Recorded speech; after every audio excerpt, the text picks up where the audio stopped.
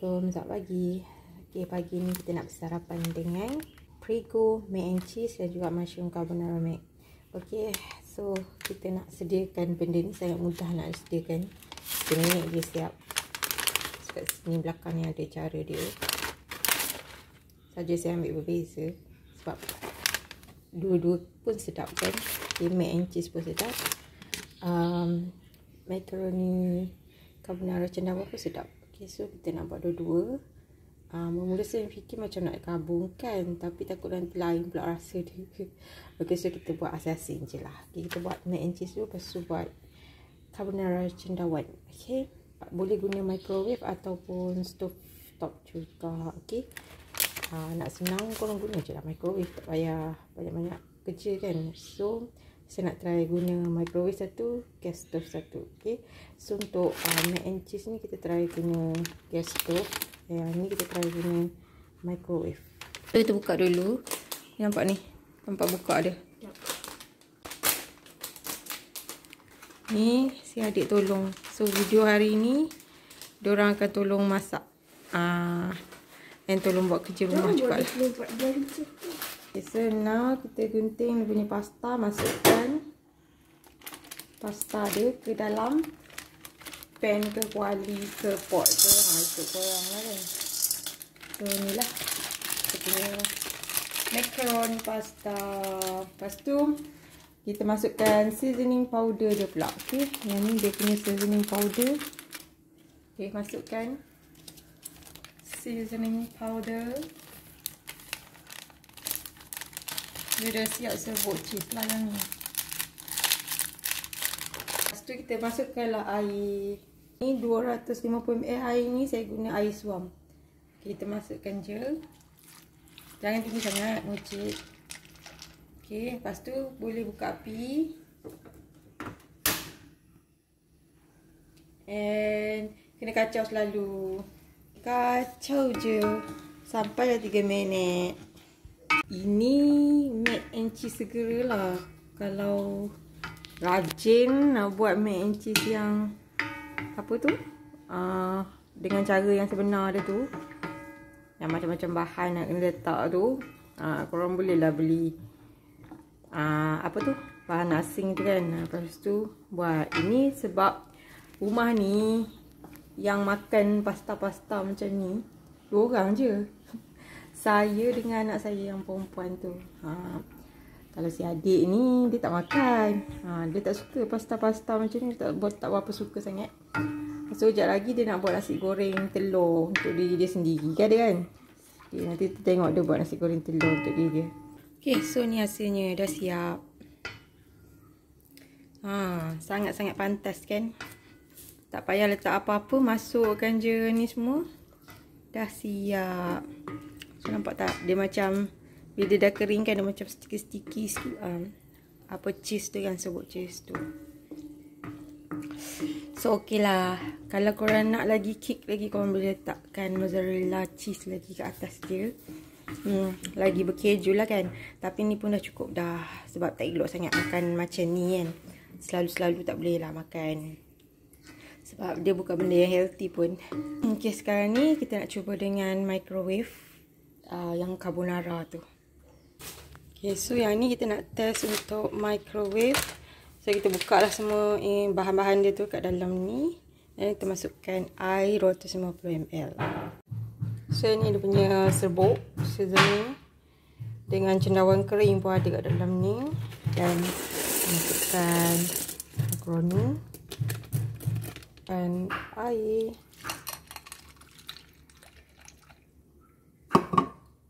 tu kena kacau dululah.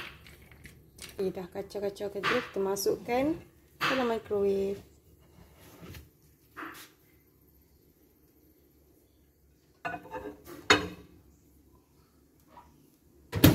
Ini kita akan gunakan suhu paling tinggi lah. Lepas tu selama 5 minit. Oops. Okay, 5 minit. Start. Okey dah buka api dah. Ha tu dia nak buat nasi goreng dia. Sebab dia tak nak makan pasta so Dia nak buat nasi goreng sendiri. Ada baki nasi lagi semalam. So bolehlah buat nasi goreng tu dia. Nak goreng telur dulu. Okay, dah siap dah. Cerah. Hmm, rasa asap.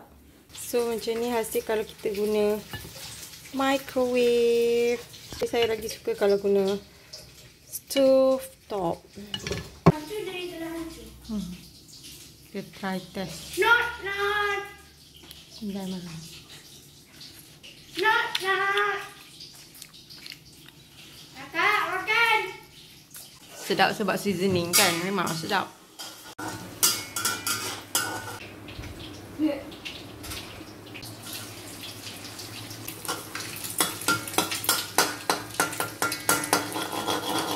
Masukkan lada. Macam tu ke? Tak nampak jatuh pun. Kakak. Dia berbuih-buih sikit sebab telur kan. Telur kalau goreng ah, memang akan berbuih-buih lah. Sebab tadi dah goreng ah, mata kan. Lepas tu ni goreng pula yang scramble ni. Lagi lah. Tu je nasi yang tinggal. Memang tak cukup kalau nak menu nasi goreng untuk semua makan. So cukup lah untuk dia. Dan kalau kakak dia nak sikit. Tu je. Macam nasi goreng Cina tu. Ha, macam tu lah. Cuma kita less uh, bahan dalam dia je. Kalau nasi goreng Cina macam-macam lagi lah kan. Okay, so begitu saja. Ada sayur boleh letak sayur. Ni dia malas nak potong sayur. nak cepat kan. Ha, macam tu je lah.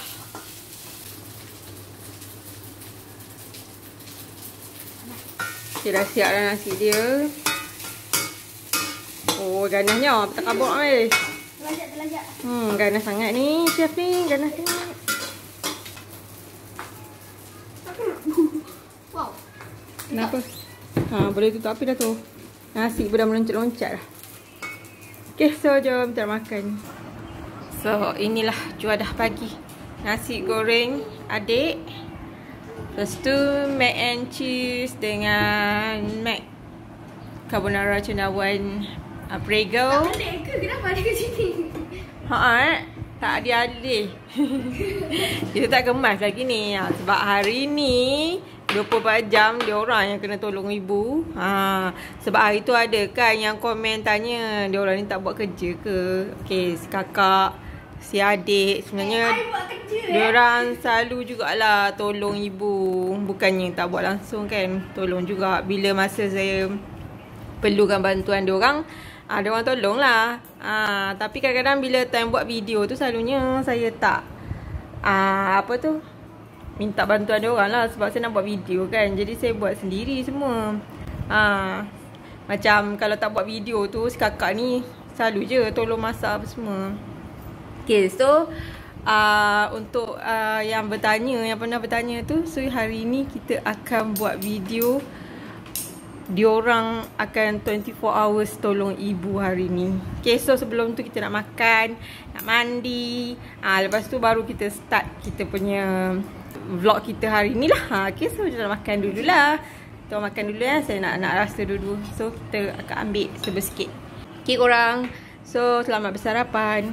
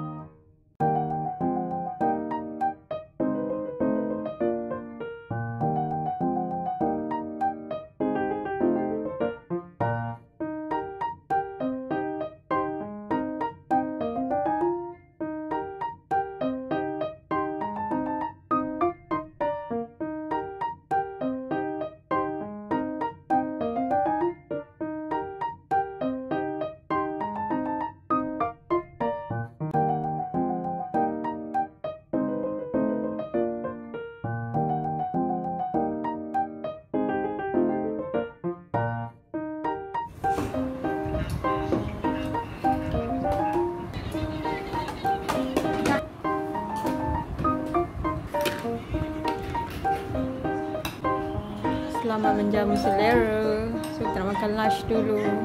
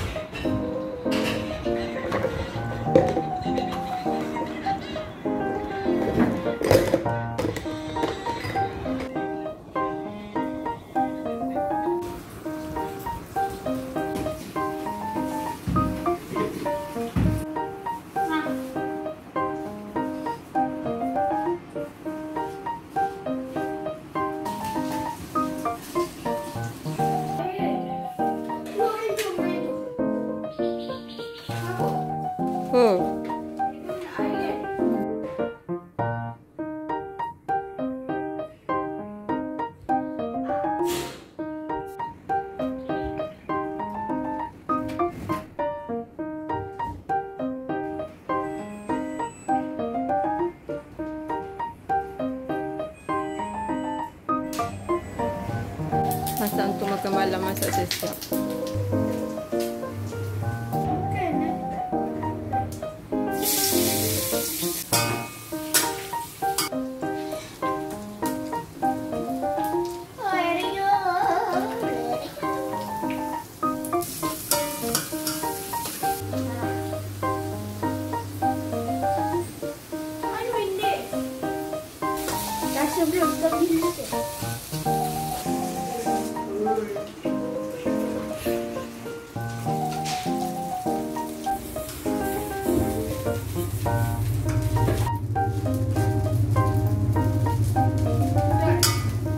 Dah, masak dah kan? Boleh tu api dah.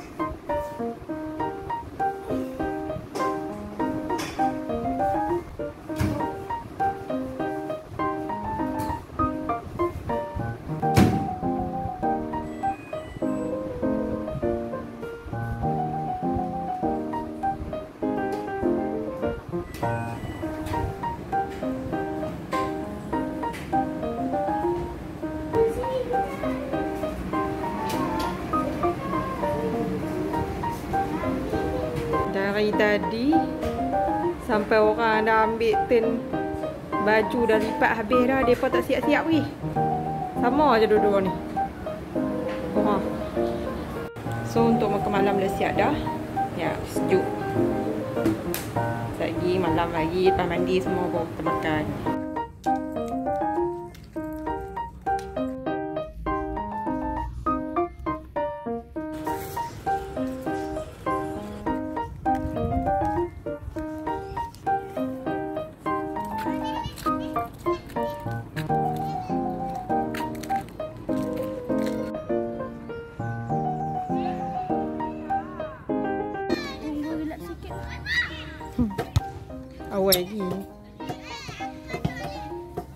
Exercise kat sini.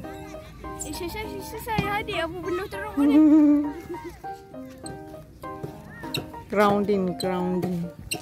Adik gitu. Patah balik ambil air. Dah lah adik sempat kencing lagi. Hmm. Kencing patut lama sangat. Lagi. Lagi pun. Grounding time. Berkaki ayam di atas tanah ataupun rumput ataupun pasir. Berpijak di bumi nyata.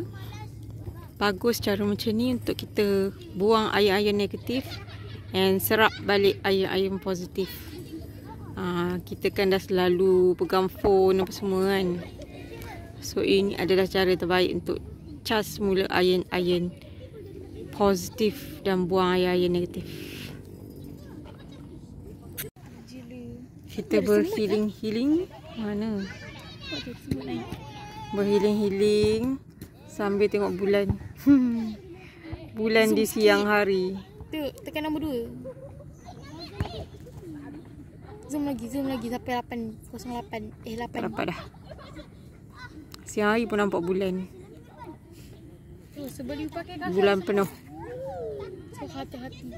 Tu busuk you. So sini banyak aktiviti riadah kita boleh buat. Yang tu tak tahu panggil apa gayut eh. Dua tu monkey. Gayut-gayut monyet tu. Ha, lepas tu Kayu-kayu monyet.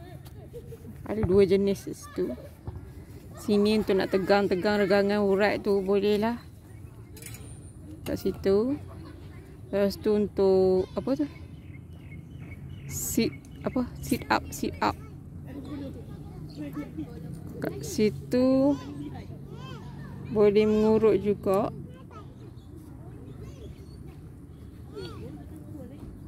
Tu boleh mengurut yang ni. Boleh mengurut badan. ni basikal. Kenapa yang penibu ni? Kalau kuning. Bunyi apa nanti akak tolong hias kakak conteng-conteng je lawa. banyak lah kau. Ni Nak lah beli cover kan. baru. Hmm. Beli khabar akak hmm. Hmm. untuk akak sekali. Untuk akak sekali. Situ untuk apa tu? Berat, aktiviti berat. Eh eh, sekali. Dah sampai rumah. Dah hilang kan? Ada lagi. Apa? Apa dia? Minyak tanah tu. Hei. Peluh-peluh janganlah duduk atas tu.